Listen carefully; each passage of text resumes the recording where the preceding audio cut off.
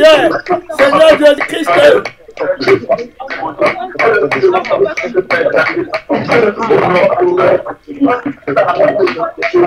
le don de ton esprit.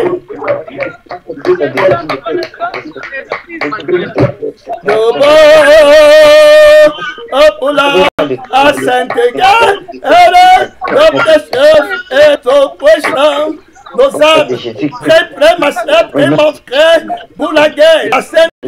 Jésus est le chef de l'armée. Tu dois vaincre que le Père te revête des armes de la lumière, les dons du Saint-Esprit. Oh, Alléluia, mon frère, pas les dons du diable, pas les dons du malin. Tu combats pour Jésus. Le Père est juste. Le Père est juste. Il ne va pas te donner un serpent. Il va te donner les dons de son esprit. Hey, Alléluia. Exauce-moi, le Père vivant.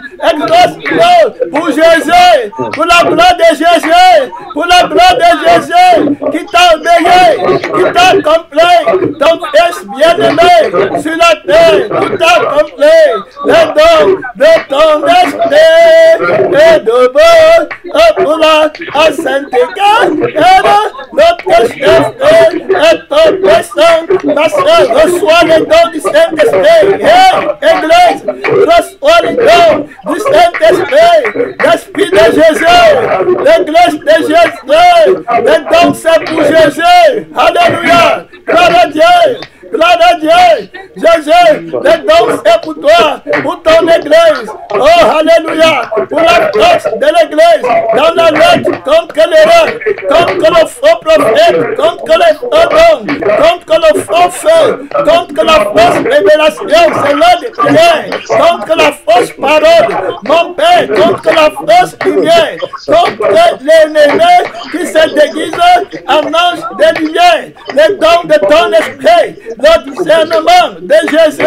Alléluia. Qui est la tête du corps, qui est la force du corps. Alléluia. Qui est l'église. C'est l'heure de prière. Reçois les dons de Jésus, les dons de la vérité, les dons de la vie éternelle, les dons de la parole de Dieu qui a été fait, les dons de l'esprit de la parole. Reçois la lumière éternelle, la parole de la lumière, la vérité,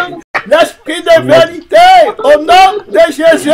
Reçois nom du Saint-Esprit à la foi combattre, sortir vainqueur, vainqueur, vainqueur dans les croisades, les conférences, les prédications, dans la vie pratique quotidienne. Mon frère, reçois la communication avec le Saint-Esprit. Reçois la communion fraternelle avec les frères qui participent au même esprit au même sang, reçois la liberté du Saint-Esprit, des enfants de Dieu, reçois l'affranchissement, la loi qui t'a franchi du péché, deviens par l'Esprit de Dieu, par l'Esprit de France, un témoin fidèle, prêt à mourir pour Jésus, les dons de l'Esprit de Dieu, à toi la gloire, à toi la louange, c'est Jésus qui a le sept esprits de Dieu, Alléluia. Alléluia. Alléluia. Alléluia. Le mystère de Dieu. Omniscient. Il connaît tout. Rien de mystérieux pour lui. Gloire à Dieu. La parole est devant. Hey, le chef de l'armée, il vient maintenant. Il a tous les dons. Il a tout pouvoir dans le ciel et la terre. Les anges sont au garde. Jésus veut parler. Jésus veut travailler. Gloire à Dieu. Gloire à Dieu. Gloire à Dieu. Gloire à Dieu. C'est lui qui baptisait du Saint-Esprit. Gloire à Jésus. Gloire au roi de gloire. Gloire infinie. Gloire éternelle. Il ne va pas te donner l'esprit de l'erreur. Il va te donner l'esprit de vérité. Alléluia. Qui te conduira jusqu'à la cité céleste. Il a un bon cœur. Il a un bon cœur.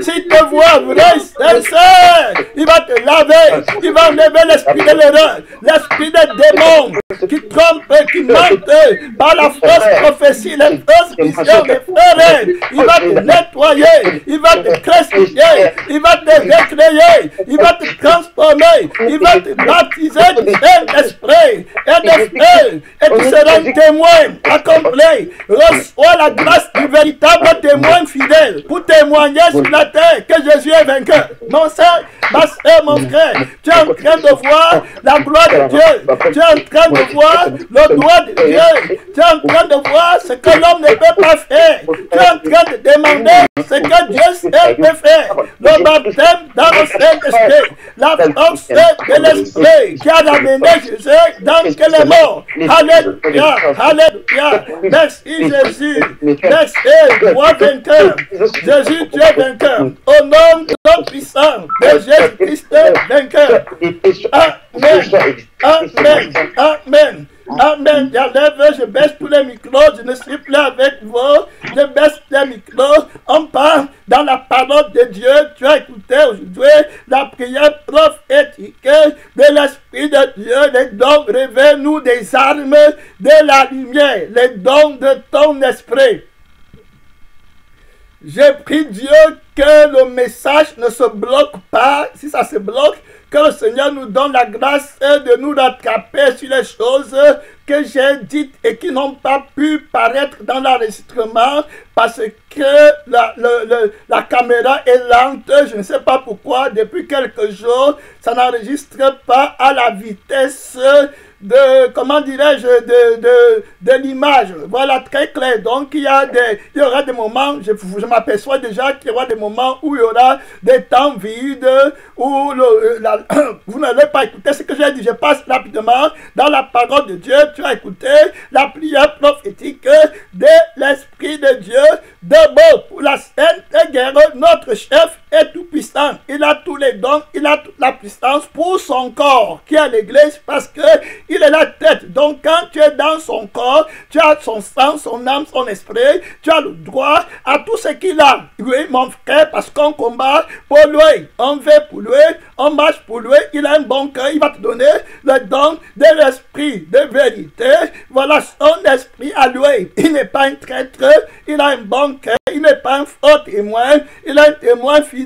Il t'a appelé pour faire de toi son témoin Il la terre. Donc reçoit au nom de Jésus-Christ vainqueur les dons du Saint-Esprit. D'abord pour la Sainte Guerre, soit revêtu des armes de la lumière. Oh, Alléluia. Heureux celui qui a créé de la part de Dieu, car les choses à qui lui ont été annoncées par l'Esprit de Dieu seront accomplies. Reçois la grâce de Dieu. Jésus t'a tout donné. Tant que tu fais pour lui, tu as tout ce qu'il a. Tu as son âme, mon frère. Quelqu'un peut te donner son âme? Hein? Non, il ne peut pas personne sur la terre ne peut te donner son âme. Il t'a donné son âme, qui est son sang. Il t'a donné le Saint-Esprit, qui est son esprit. Il t'a donné le trône. Il t'a tout donné, mon frère. Qu'est-ce qui est dans ton cœur qui t'empêche de recevoir? Donne tout au ciel pour qu'il y ait de l'espace pour qu'il puisse te remplir. Gloire à Dieu. Aujourd'hui, on passe dans le nouveau message. On va attaquer un autre message. Le message direct que je disais euh, sur lequel je devais revenir le Saint-Esprit nous fera il est il y a des messages qui s'accumulent. Gloire à Dieu. Oh, Alléluia. Merci Seigneur pour la providence, la provision éternelle. Jésus règne, il règne, il règne, les démons tombent, les démons tremblent.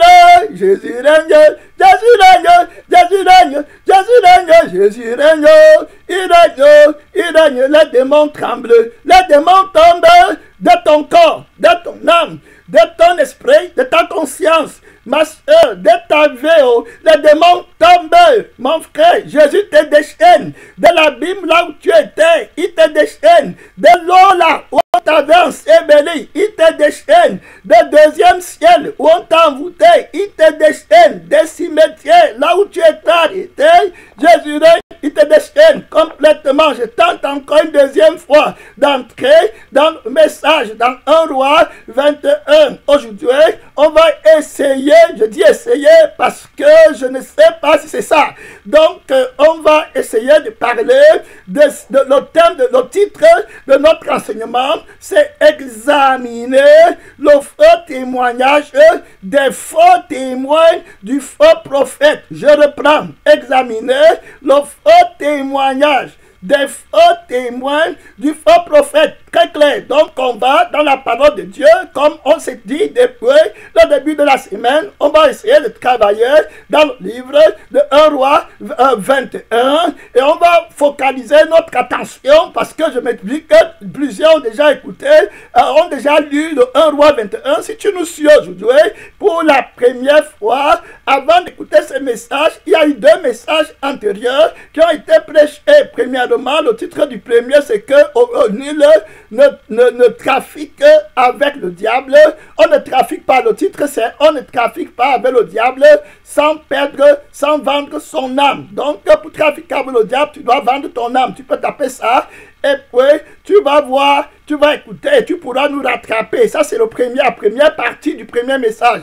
La deuxième partie est titrée euh, La loi euh, du 666 dans le commerce du marché mondial des armes, dans le commerce des armes, dans le marché mondial, quelque chose comme ça. Voilà, la loi du 666, la loi 666 dans le commerce du marché des armes, dans le commerce mondial, euh, du, dans le trafic mondial du marché des armes, quelque chose comme ça. De toutes les façons, tu vas écouter et après ça, tu pourras comprendre cette partie que nous allons essayer d'expliquer par l'Esprit de Dieu. Très clair. Examine le, témoigne, le faux témoignage des faux témoins du faux prophète dont je prends dans 1 roi 21. Je lis à partir du verset, euh, à partir du verset 1 encore jusqu'au verset 13. Voilà très clair. Donc, euh, euh, je ne vais pas le même lire jusqu'à je vais lire pour toi. Pour toi, je vais lire. Toi qui viens de te connecter, peut-être que tu n'auras pas la, force d'aller encore lire la Bible. Je vais lire pour toi. Après ces choses, voici ce qui arriva. Naboth de Israël avait une vigne à Israël, à côté du palais d'Achab, roi de Samarie. Et Achab parla ainsi à Naboth, cède-moi ta vigne pour que j'en fasse un jardin potager, car elle est tout près de ma maison. Je donnerai, je te donnerai à la place une vigne meilleure. Ou si cela te convient, je te payerai la valeur en argent. Pour comprendre ça, il faut que tu partes écouter les deux autres messages. Très clair. Et si tu es avec nous, tu ne connais pas les deux autres messages, tu n'as qu'à regarder la date des messages. Donc deux jours. C'est-à-dire que les messages qui ont été prêchés deux jours aujourd'hui, c'est-à-dire avant-hier et hier, voilà les messages dont il est question. Voilà je continue la lecture. Mais Naboth répondit à Achab que l'Éternel me garde de te donner l'héritage de mes pères. voilà, Achab rentra dans sa maison, euh, triste et irrité. Et, et, toi aussi qui te connectes avec nous, il faut que tu écoutes un message plusieurs fois pour que tu en sois imprégné de l'Esprit de Dieu et de l'Esprit de la parole et de la vieille de la parole, afin que tu puisses répondre à ceux qui sont dans l'erreur, qui sont aussi imprégnés d'un autre esprit, d'une autre parole. Donc ils sont enceintes d'un autre esprit, ils sont dans une autre vie, ils ont une autre parole qui a le levain et qui se prétendent, qui prétendent être de Dieu. Il y aura une confrontation. Dans notre prochain message, par la grâce de Dieu, ça va être la lutte entre les témoins, c'est-à-dire que les deux témoins, les deux groupes de témoins, c'est-à-dire que les témoins de Jésus et puis les témoins du faux prophète. Très clair, il y a une lutte entre eux, pratique réaliste dans la parole de Dieu et même dans notre vie. Cette lutte va résulter à la mort physique des témoins de Jésus et à la justification euh, spirituelle des témoins de Jésus. Et ça va être là le combat et on va voir ça, tout ça dans la parole de Dieu. Euh, il faut aller pas à pas parce que c'est l'Esprit qui nous dirige. Donc prends le temps pour écouter bien même. Sinon, tu vas être en retard. Comme tu nous vois là aujourd'hui, à cette année 2019, le 4 ou le 5 ou le 6, je ne sais pas c'est quelle date, quand tu vas nous regarder dans 6 mois, tu vas voir que la connaissance que l'Esprit donne a augmenté. Et tu ne vas plus comprendre, tu vas être perdu. Donc ne triche pas dans le combat, dans le camp d'entraînement de l'armée de Dieu. Ne triche pas. Si tu te mets à tricher, tu vas être dévoilé, découragé et tu vas regarder derrière. Tu commences petit, le salut, la repentance, la sanctification. Voilà très clair. Le baptême du Saint-Esprit. Et maintenant, tu commences à entrer dans la parole vainqueur pour te armer des armes spirituelles pour répondre à l'ennemi afin d'aller sauver. Tu entres dans le camp de Dieu et tu deviens dangereux par la vie de la parole, par l'esprit de la parole, par les dons de l'esprit, par la fermeté en Christ. Tu deviens un homme fait. La nourriture de l'air spirituel que tu commences à respirer, c'est l'air de la parole. Tu n'es plus à l'aise dans le monde. Tu es à l'aise naturellement dans les choses de Dieu. Tu grandis en force terriblement. Tu manges la vraie nourriture. Ton Père veille sur toi. Tous les matins, il te veille pour écouter. Il aiguise tes oreilles, les oreilles de ton cœur pour que tu sois enfant de Dieu. Il ouvre ta bouche pour que tu parles des oracles de Dieu. Il ouvre tes yeux pour que tu voyes la gloire de Dieu. Tu ne vois plus le monde, tu ne vois plus les choses de la terre, tu ne connais plus que tu es né. Voilà la force vainqueur, voilà la communion de la parole. Voilà ce que Jésus a dit, que celui qui me mange ne mourra jamais. Donc, toute parole qui te fait mourir dans la chair, avec des fausses connaissances mensongères, ce n'est pas de Dieu. La vraie parole te fait vivre. Vivre, c'est recevoir la vie des sainteté, que la vie de Dieu, qui est une vie qui ne peut pas mourir. Très clair. La vie éternelle, c'est la vie de sainteté qui est immortelle. La vie là ne peut pas mourir. À jamais. Dieu n'est jamais mort. Très clair. Voilà. Donc tu comprends. Très clair. Quand il dit Dieu n'est jamais mort, tu comprends que Dieu n'est jamais mort. Voilà. Oh, Jésus est mort en tant qu'homme qui s'est fait cher. Très clair. Pour enlever tes péchés. Donc ici là, euh, voilà. La Bible nous dit euh, dans le livre de, euh, répondit à que l'Éternel me garde de te donner l'héritage de mes pères. Je lis dans 1 roi, verset chapitre 21. Achab rentra dans sa maison, triste et irrité. Voilà à cause de cette parole que lui avait dit Naboth d'Israël. Je ne te donnerai pas l'héritage de mes pères. Et il se coucha sur son lit, détourna son visage et ne mangea rien. Voilà, je n'ai pas le temps d'expliquer, ça c'est déjà expliqué. Jézabel, sa femme, vint auprès de lui et lui dit, pourquoi as-tu à l'esprit triste et ne manges-tu point? Il lui répondit, j'ai parlé à Naboth des Israël et je lui ai dit, cède-moi ta vigne pour de l'argent ou si tu veux, je te la donnerai, je te donnerai une autre vigne à la place. Mais il a dit non, voilà, je ne te donnerai pas ma vigne. Alors Jézabel, sa femme, lui a dit, voilà le test commence, hein, voilà où on va travailler aujourd'hui.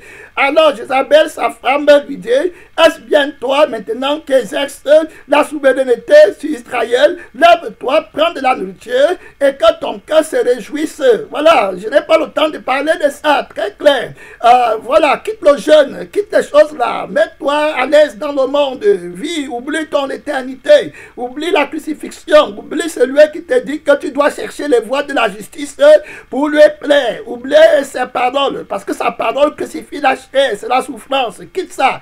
Va te distraire, va dans le libertinage, vis selon la chair et tout ça. Je te donnerai la vigne de Naboth d'Israël. Je te donnerai ton désir. Ne tue pas le désir, ne renonce pas toi-même. Vis, ah, voilà, aime ta vie. Voilà la fausse prédication. Voilà le mystère du, voilà le mystère du faux témoin, du faux témoignage, la vie du faux témoignage. Voilà où ça commence.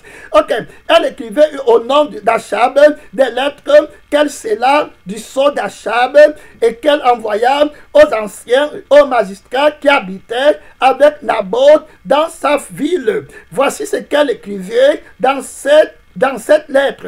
A publié un jeune plaçait Nabot à la tête du peuple et mettait en face de lui deux méchants hommes. On a déjà parlé que ces deux méchants hommes, ce sont les deux faux témoins, très clair, qui déposeront ainsi contre lui. Ils diront, tu as maudit Dieu et, et, le roi. Donc, puis mener-le dehors, lapider-le et puis qu'il meure. Hey!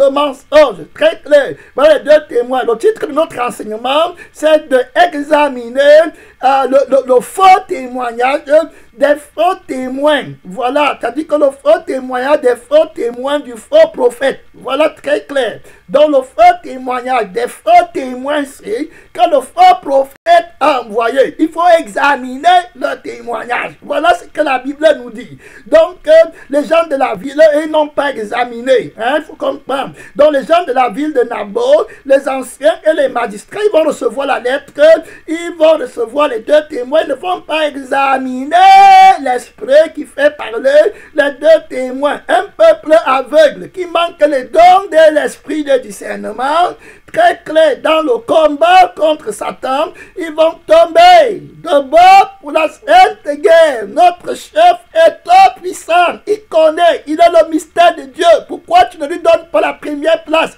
Pourquoi il est jeté dehors? Où sont les prophètes de l'éternel? Tu vous êtes des magistrats, les gens qui connaissent la lettre, mais vous n'avez pas l'esprit de la parole. Pourquoi vous avez laissé Élie dehors? Élie, c'est lui qui a l'œil de la prophétie, qui a l'œil de la parole, qui a le cœur de l'esprit qui parle dans la lettre de la parole écrite par la main de Dieu, par la lettre qui est écrite par la main d'un autre homme qui ne peut pas changer le cœur. Mon frère, on n'a pas été circoncis par la circoncision que la main d'un homme peut faire. Je vous disais que Jézabel, c'est l'humanité aujourd'hui. La femme Jézabel, c'est le système, c'est l'humanité. C'est l'homme et la femme qui a utilisé par l'esprit du faux prophète. Voilà ce que Jézabel signifie. Donc Jézabel, ce n'est pas seulement les femmes euh, sur le plan physique. Non, les Jézabel sont aussi toi un homme, oui, qui est agité par un autre esprit, l'esprit du faux prophète qui est derrière toi, qui t'anime. Il faut bien comprendre. Quand on dit la femme Jézabel, tu crois que c'est une femme? Non. Toi qui n'es pas sanctifié, qui enseigne aux enfants de Dieu, je m'en vais déjà, de force mon entrée dans le message d'Apocalypse chapitre 2, il faut comprendre. Apocalypse, chapitre 2, la Bible est claire. Euh, très clair qui parle, je vous parle de la similitude de l'esprit de Jézabel, euh, voilà, qui agit dans l'homme et dans la femme. Voilà très clair, il faut comprendre. La femme de Jézabel, c'est ça veut dire l'humanité, qui est une femme aujourd'hui, c'est-à-dire que les païens, les gens qui ne sont pas si circoncis des cœurs, les faux chrétiens, les faux pasteurs, les faux enfants de Dieu, tous sont des Jézabel de la part de Dieu, parce qu'ils enseignent avec l'esprit du faux prophète. Voilà très clair. Regardons dans la Bible, dans Apocalypse chapitre 2, vous allez voir, la Bible dit dans Apocalypse chapitre 2 à l'église de Thyatire. La Bible dit au verset 20, mais ce que j'ai contre toi, c'est que tu laisses la femme Jézabel qui se dit prophétesse enseigner et séduire. On a vu que le faux prophète va, il a, il a l'esprit de séduction. Dans l'enseignement, il enseigne avec le levain, avec l'esprit de l'erreur. Je veux d'abord que tu vois ici pour que tu l'importance et le mystère de la parole de Dieu qui est codée. Donc, il a, elle enseigne à l'église, il faut bien écouter, c'est une femme qui enseigne à l'église, voilà, que elle enseigne et elle séduit les serviteurs de Jésus pour qu'ils se livrent à quoi? À l'impudicité. On a parlé de l'impureté. La Bible parle de l'impur, l'impie, l'impureté, l'impudicité. Donc, il vient de l'impie. Et on a vu dans le livre des Thessaloniciens, je n'aurais pas assez de temps, je vais essayer seulement, il y a trop de choses à dire. Dans le livre de Thessaloniciens, on a vu clairement comment la Bible appelait cet impie. Voilà, il dit que, que personne ne vous séduise d'aucune manière, il faut que l'apostasie soit arrivée auparavant. Et qu'on ait vu venir, on ait vu venir et qu'on ait vu paraître l'homme du péché, le fils de la perdition, donc l'homme du péché, l'adversaire qui s'élève au-dessus de ce que de celui qu'on appelle Dieu. Au verset 8, on dit alors paraîtra l'impie. Vous voyez, donc l'impie, le, promoteur de l'impudicité. La Bible nous dit que trois esprits impurs sortent de la bouche du dragon, du faux prophète et de la bête. Donc, ils, ont, ils sont un peu. Voilà, maintenant, quand ils envoient l'humanité, c'est-à-dire que la femme Jézabel, en quelque sorte, quand ils envoient, quand ils entrent en eux, que ce soit l'homme ou la femme, quand on dit la femme, il faut comprendre que sur le plan spirituel, c'est l'esprit qui t'utilise qui est l'homme. Et toi qui es humain, tu es, tu es une femme. Parce que tu ne peux pas vivre par ta propre force.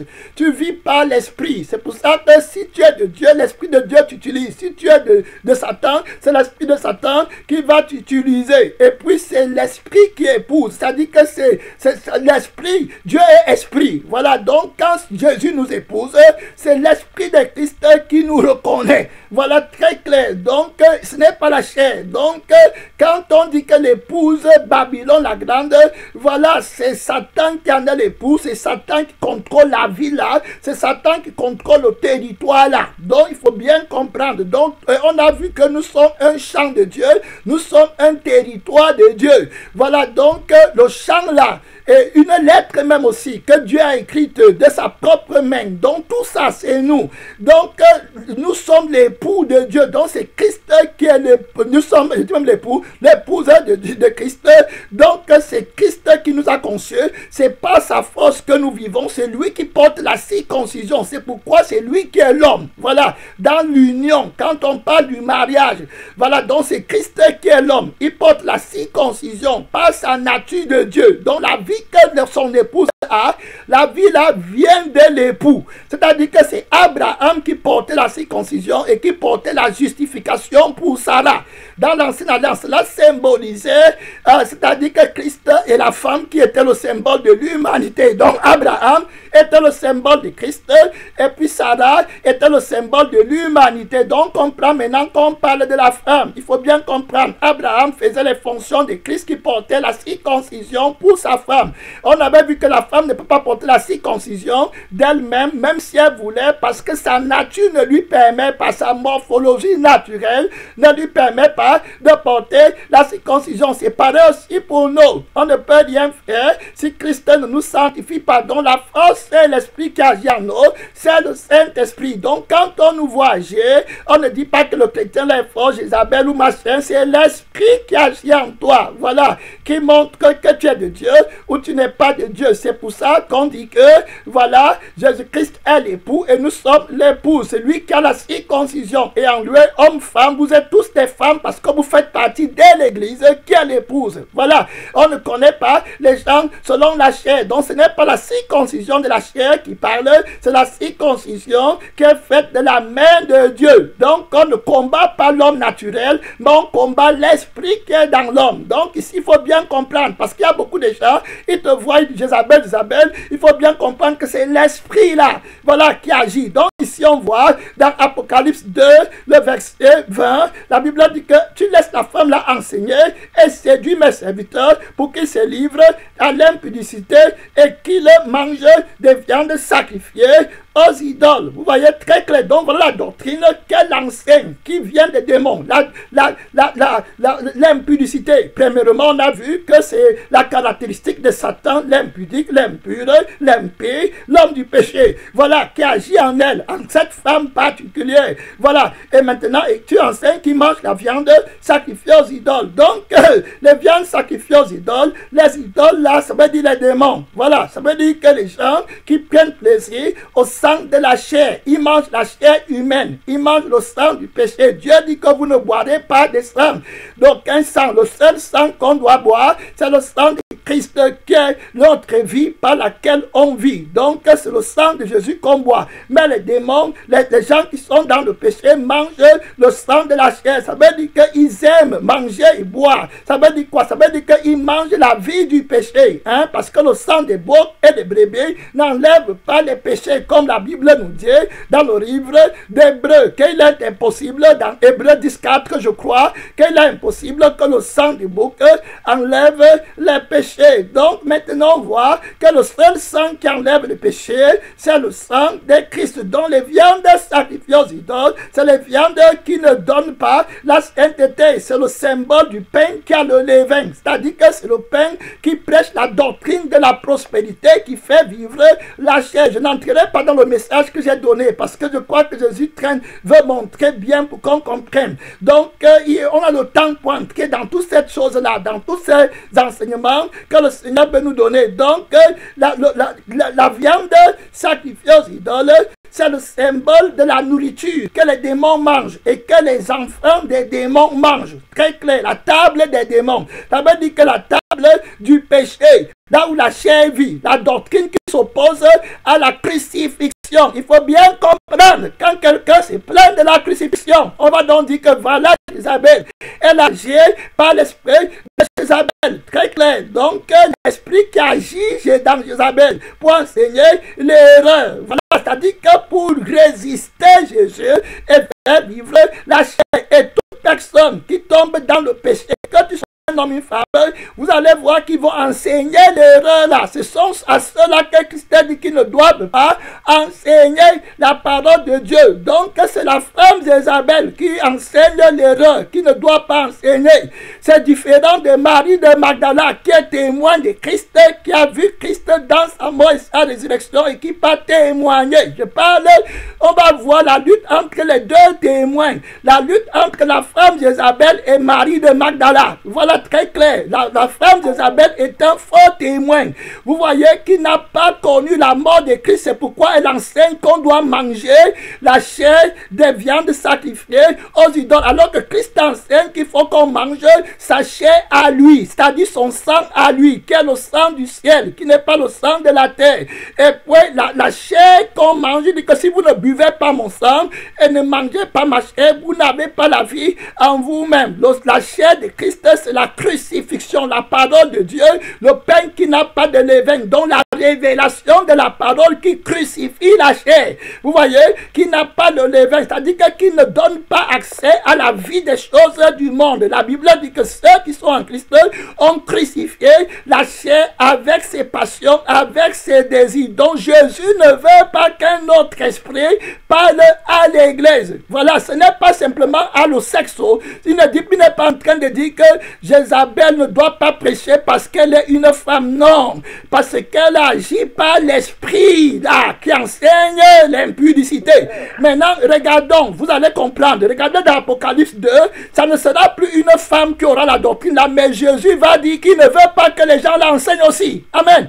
Dans l'Apocalypse chapitre 2, dans l'Apocalypse chapitre 2, euh, le verset, le verset, euh, la Bible est claire de 11 à 12, le, Seigneur va nous amener plus tard dans ce qu'il a enseigné. Dans Apocalypse 2, le verset 12, 13 à, 14, euh, il dit, il dit écrit ceci. Il dit, je sais où, euh, je lis au verset 12, et qui annonce de l'église de Pergame. Voici ce que dit celui qui a l'épée à deux tranchants. Je sais où tu demeures. Je sais que là est le trône de Satan tu retiens mon nom et tu n'as pas régné ma foi, même au jour d'Antipas, mon témoin fidèle. Très important de comprendre. Il parle d'abord du témoin fidèle. Je vous ai dit qu'on aura une révélation, un enseignement sur la lutte entre les deux témoins, les témoins fidèles et les témoins, les faux témoins. Vous voyez, donc Jésus dit, je suis le témoin fidèle, donc le vrai témoin.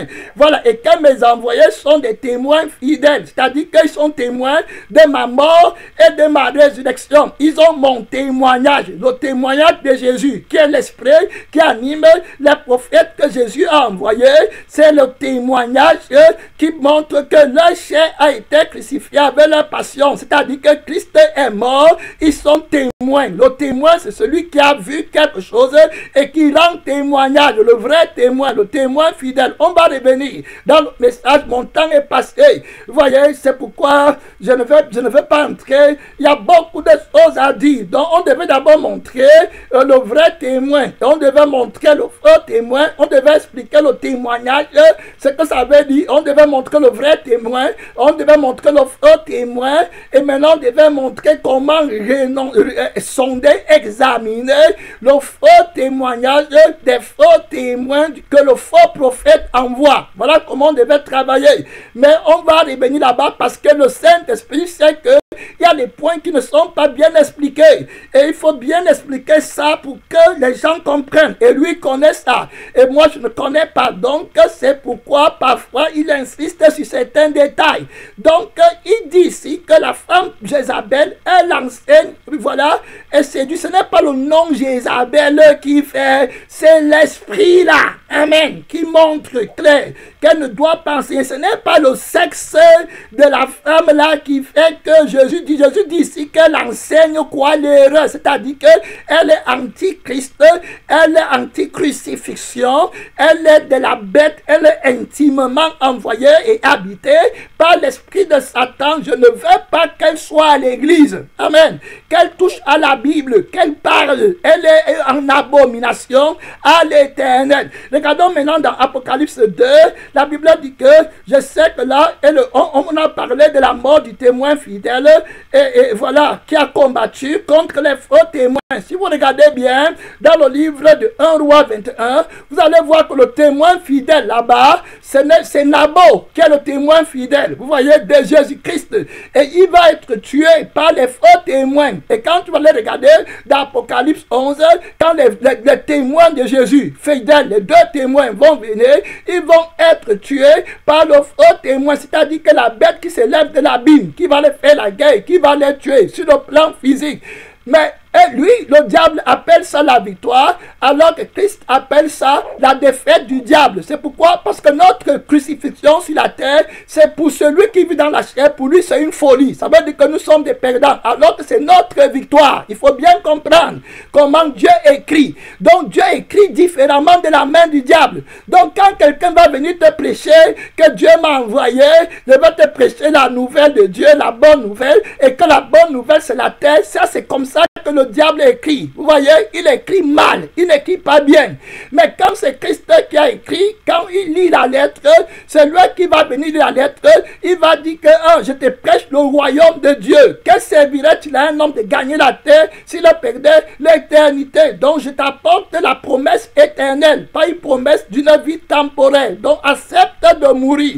Quand tu vas mourir, crucifier ta chair, pour les hommes du monde, ils vont dire que tu es malheureux, tu es mort, tu es vainqueur, tu as battu, mais pour Dieu, tu vas vivre pour l'éternité. Voilà comment Dieu écrit. Donc, celui qui veut gagner sa vie, il ne peut pas être envoyé de Dieu. Amen. Il ne peut pas être prophète de Dieu. Il ne peut pas être témoin de Dieu. Il ne peut pas être un témoin fidèle. Donc, on regarde ici, la Bible dit au verset au verset 14, mais ce que j'ai contre toi, j'ai contre toi quelque chose, c'est que tu as des gens attaché à la doctrine de Balaam qui enseignait à Balak même à mettre une pierre d'achoppement devant les fils d'Israël pour qu'ils mangent des viandes sacrifiées aux idoles et qui se livrent à l'impudicité. Amen. Très clair. Ce n'est pas la même chose que la femme d'Isabelle faisait. C'est la même chose. Donc tous ces gens-là sont habités par l'esprit du faux prophète. Ils n'ont pas le droit de prêcher. Ils n'ont pas le droit d'enseigner. Ils n'ont pas,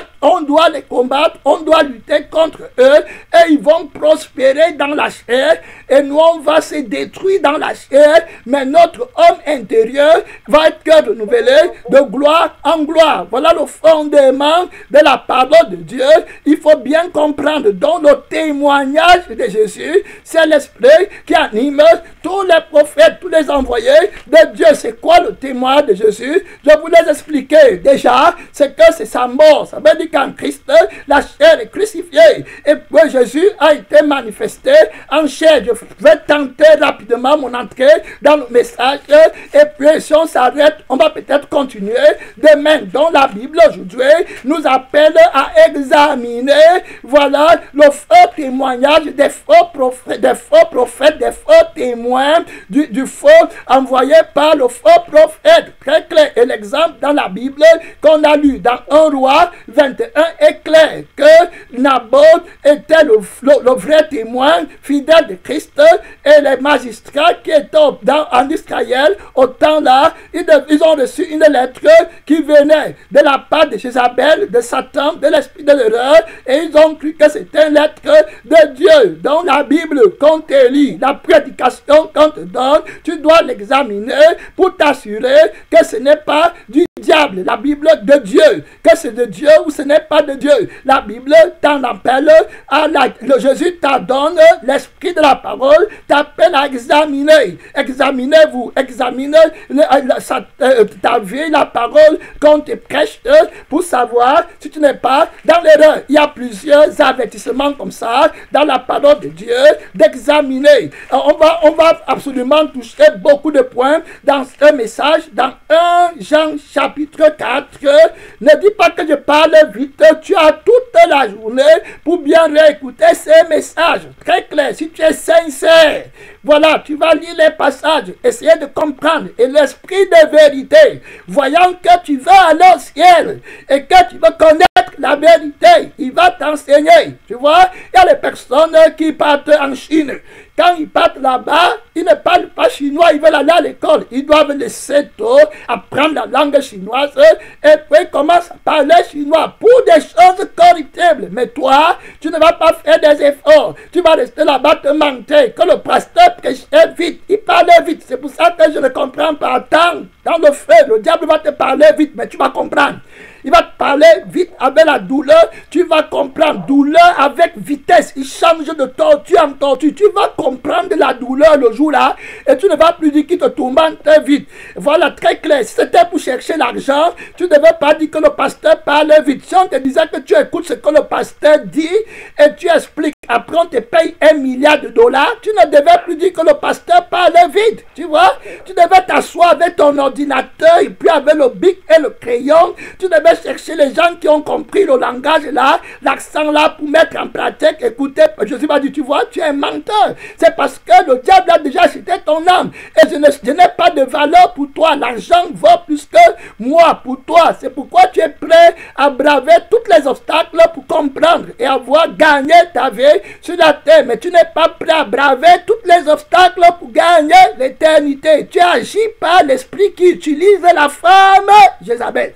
Donc, dans 1 Jean, chapitre 4, la Bible dit bien-aimé, n'ajoutez pas foi à tout esprit, mais à éprouver les esprits. Ça veut dire que les gens de la ville de Nabo, avant d'exécuter le jugement de Dieu, ils devaient éprouver l'esprit. Amen. Qui a écrit la lettre. Et puis éprouver les témoins qui prêchent quel est ton témoignage? Amen. Les deux témoins que tu as envoyés là, vous dites que vous avez vu Nabot maudit Dieu. Quel est d'abord votre témoignage sur Dieu? Comment on maudit Dieu? Amen. Comment on sanctifie Dieu? Qui est Dieu? Voilà, donnez-nous. Vous êtes né de nouveau quand? Vous allez voir les gens qui vous disent qu'ils ont les révélations, ils connaissent. Tu es né de nouveau quand? Qu'est-ce que Christ a fait pour toi? Amen. Tu vas voir, il n'est pas libéré du péché. Tu comprends? Donc c'est un menteur. Examine bien. Il ne connaît pas Christ. Il a seulement la lettre dans sa main. Amen. La lettre de la parole, écrite de la main euh, traduit et mal interprétée par la main de Dieu qui impersonnalise Dieu. La Bible nous appelle ici à examiner les esprits. Tu es sanctifié quand Tu as reçu le baptême de l'esprit quand? Pour que tu commences à commencer. Tu dois commencer comment? Amen. Avec Christ. La Bible dit que, voilà, examiner les esprits pour savoir s'ils sont mon temps est passé. Oh, 11h30. 11h30. Oh, Seigneur Jésus, le temps pour prêcher, il n'y en a plus. Le temps est passé. Hein, voyez, il y a trop de choses. Donnez-moi 10 minutes, donnez-moi 10 minutes. Voilà, je ne vais pas finir, mais je vais essayer de, de, donner les lignes. Voilà, voilà, pour sauver. La Bible dit que sonder les esprits, éprouver-les pour savoir s'ils sont des dieux. Amen. Des témoins. qui portent le faux message du faux prophète. Il faut examiner. Voilà, avant qu'il n'entre dans ta maison, vous voyez, avant que les deux faux témoins, là, entre dans l'église. L'église, c'est aussi toi, la maison de Dieu. Toi-même, tu as une maison de Dieu. Et les deux témoins qui sont entrés dans ta maison, on va voir, on n'a pas le temps, c'est le Père qui est le, Père et puis Jésus. Donc, ils sont rendus témoignages. Les deux là sont entrés dans ton cœur. Voilà, ils ont une seule bouche. Voilà, très clair. Maintenant, quand, quand euh, Josué voulait envoyer les gens euh, voilà, dans la ville où l'Arabe habitait, c'était, il a envoyé deux personnes et les deux personnes-là sont entrées dans la maison de l'Arabe. C'était deux vrais témoins qui sont entrés dans la maison de l'Arabe, qui étaient les, les gens d'Israël qui sont sortis du pays d'Égypte, qui ont vu les miracles, qui connaissent le Dieu, qui sont envoyés par Dieu. Voilà, il les a et elle a été justifiée. Donc, quand euh, vous allez regarder Paul et Silas, qui étaient les deux témoins qui chantaient quand ils étaient en prison, quand Jésus a manifesté sa gloire, le geôlier est tombé à genoux et il a ouvert sa maison pour que les deux témoins entrent, les témoins fidèles qui ont le témoignage de Jésus. Paul avait le témoignage de Jésus, il était sauvé, il était sanctifié, il était purifié. Le message qu'il prêchait, c'était le message de croire en Jésus pour avoir la vie éternelle, pas pour avoir la vie de la terre. Rahab a examiné les deux témoins. Elle a dit que je veux savoir que vous êtes les témoins de Dieu pour que ma famille soit sauvée, pour aller au ciel, pour qu'elle ne soit pas détruite. Amen. Avec ces gens, c'est donc, et les gens là ont dit que oui, tu vas vivre éternellement. Ça veut dire que tu ne vas pas mourir. Tu es du peuple de l'éternel parce que Dieu est le Dieu d'Abraham, d'Isaac et de Jacob. Et Jacob, vous avez vu que Dieu n'est pas le Dieu des morts, Dieu est le Dieu des vivants, dont les morts vont ressusciter. Ça veut dire que si tu fais partie du peuple d'Israël, tu vas ressusciter, tu as vaincu la mort. Voilà le témoignage de Jésus que les vrais témoins apportent. Ils ne veulent pas la mort, c'est-à-dire qu'ils ne veulent pas une vie qui va mourir, ils veulent une vie qui est éternelle. La promesse des vrais témoins, c'est dans 1 Jean 2, verset 25, que voilà la promesse qui nous a faite, c'est la promesse de la vie éternelle. Il y a trop de choses à dire là-bas. Jésus a dit, quand vous entrerez, il a envoyé les serviteurs deux par deux. Il a dit que quand vous entrerez quelque part et vous entrez dans la maison là, s'il y a la paix, que votre paix résiste dans cette maison. Donc même toi là, la Bible dit de t'examiner. Donc examine quel est l'esprit qui est entré dans ton cœur. Quel est l'esprit qui vit en toi? Est-ce que c'est l'esprit de Jésus?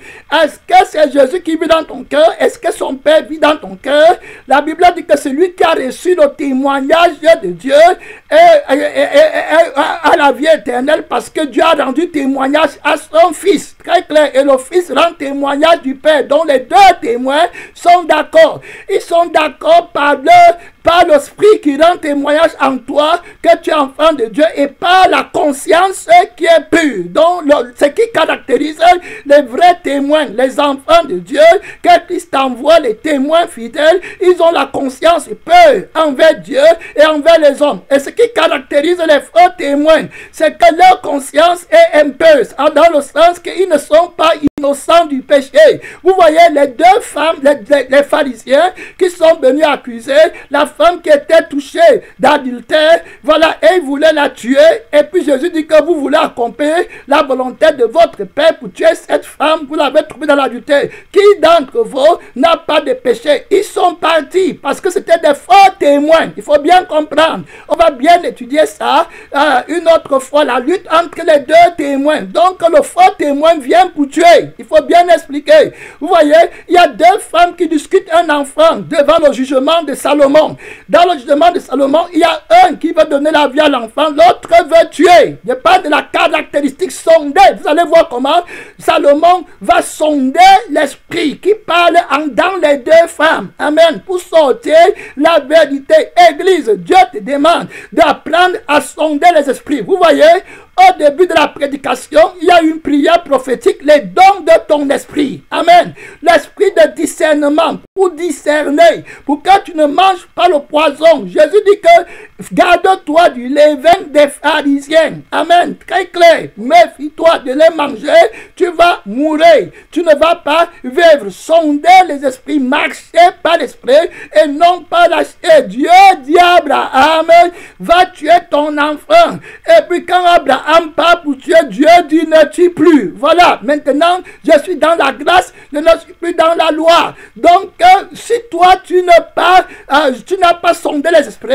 tu vas marcher dans la loi. Tu vas dire que Dieu avait dit que mais ce n'est plus Dieu dans la loi. Dieu est dans la grâce, dans la sainteté, dans la pureté. C'est Christ qui est assis sur le trône. Donc, voilà comment on sonde les esprits sans marchant, en étant conduit par l'Esprit de Dieu qu'on a franchi de la loi du péché de la mort. Donc, quel est l'esprit que tu laisses entrer dans ta maison? Tu dois sonder les esprits pour qu'un autre esprit, un autre Dieu n'entre pas dans ton cœur. Dans 2 Corinthiens 11, la Bible dit que j'ai peur que Satan entre en vous et que vous vous détournez de Christ et qu'un autre esprit vienne vous séduire, vous enlever avec un faux évangile, que vous receviez un autre Jésus, un faux Jésus. Que vous receviez un autre esprit, un autre évangile. Donc vous voyez que le faux témoignage du faux prophète ou du faux témoin, voilà, n'a pas de sanctification, n'a pas de pureté. C'est la sémence que le serpent a donnée à la femme, Jézabel. Voilà, très clair, pour venir tromper l'église de Christ. Il y a trop de choses à dire, mon temps passe, je ne peux pas m'arrêter longtemps. La Bible dit que si quelqu'un vient à vous, dans le livre de 2 Jean, voilà, que si quelqu'un vient à vous, comme il n'y a plus le temps, je ne peux pas lire, voilà, et n'apporte pas cette doctrine, ne le recevez pas dans votre maison. On a vu qu'on est le temple de Dieu, premièrement. Il n'a pas la doctrine de la crucifixion, ne reçoit pas sa parole. Voilà, premièrement, tu te préserves toi-même peu. Voilà, et après ça, maintenant, dans l'église, examinez, ne laissez pas entrer là-bas, dans la maison de Dieu. Si tu le reçois et que tu dis Amen, tu participes à ses œuvres. Donc ici, on voit bien que les gens de la ville de Nabo vont recevoir deux faux témoins sans examiner. C'est comme ça qu'ils vont tomber dans l'erreur et puis vont être emportés par l'esprit de Satan en tuant leur propre frère, leur propre soeur. Donc c'est l'esprit des gens qui se qui se détruisent parce qu'ils n'ont pas le discernement. Vous voyez, si Abraham n'avait pas le discernement de marcher avec Dieu en esprit, il devait seulement marcher dans la lettre d'hier et il devait tuer son propre fils qui devait rester en vie aujourd'hui. Combien de gens ont été tués parce qu'il manque de discernement? Injustement. Le monde va crucifier Christ parce qu'il ne sait pas discerner la voix de l'épaule de la voix de l'étranger. Et après, ils vont regretter. Voyez, Israël va tuer le sauveur? La Bible dit qu'ils tourneront les yeux vers celui qu'ils ont percé. Ils pleureront amèrement sur lui. Pourquoi? Parce qu'ils n'avaient pas le discernement. Ils n'avaient pas sondé les esprits. Quel esprit était pour leur demander de crucifier le témoin fidèle. Ma soeur, sondez les esprits, sondez à la lumière de la parole de Dieu. Mon temps est passé. Je vais une autre fois, le temps d'ouvrir les micros. On va prier. Le Seigneur nous fera la grâce de revenir sur ce message qui a été attaqué. Voilà, Père Tout-Puissant, mystère de Dieu. Tu nous as parlé aujourd'hui de témoignages de son nez, mon Père, les esprits, pour savoir s'ils sont de Dieu. Oui, les témoins, le faux témoignage, oui, du faux témoin qui ne croit pas en la résurrection de Jésus-Christ, qui veut enseigner la prospérité à l'Église, qui veut enseigner la chair et qui veut tuer nos enfants, qui veut tuer nos frères Antipas, qui veut tuer Nabo. Seigneur Jésus, nous les rejetons dans les abîmes au nom de Jésus. Ils veulent nous asserver. Nous les repoussons. Père Tout-Puissant, avec la foi ferme, ils veulent épier la liberté que nous avons en Jésus-Christ pour nous faire marcher selon la chair et non selon l'esprit. Notre Dieu, Dieu bon, donne les dons de l'esprit pour les connaître, les voir, pour juger sans erreur. Notre Dieu, sondez les esprits, le temps est grave. Plusieurs églises, plusieurs Isabelles sont entrés dans l'église, dans le monde. Deux Jean 7, c'est de prière. La Bible dit car plusieurs séducteurs sont entrés dans le monde. Oui, qui ne confessent point que Jésus-Christ est venu en chair. Cet esprit-là, c'est le séducteur, c'est l'antéchrist, c'est l'esprit-là qui agit dans la femme Jézabel, dans Balaam, qui enseigne à Balak à mettre une pied d'achoppement devant les élus. Mon frère, c'est l'heure de prière. C'est l'heure de prière. Notre Dieu donne-nous la force de distinguer le levain délivrer le levain, mon Père qui engendre délivrer, oh Seigneur, de distinguer de la bonne sémence, de la parole vivante, la crucifixion, la mort de la chair, la mort de, de la vie qui, qui, qui, est la viande des idoles, le symbole de la viande des idoles, qui est l'âme qui est dans la viande que les idoles mangent. Seigneur, on mange l'âme de Jésus, l'âme de l'agneau de Dieu qui a été immolé pour nous, son sang précieux. On mange, on boit sa vie, on accepte sa nature et on crucifie la chair, on brûle la chair du péché au feu. Père puissant, aide-nous, roi de gloire, mystère de Dieu, reçoit la gloire, reçoit l'admiration comme il en est, comme il en était, comme dominant cela pour des siècles et des siècles au nom trop puissant de Jésus-Christ, vainqueur. Vainqueur. Vainqueur. Vainqueur. Vainqueur. Vainqueur. Merci Jésus. Merci Seigneur. Gloire à Dieu. Merci Seigneur.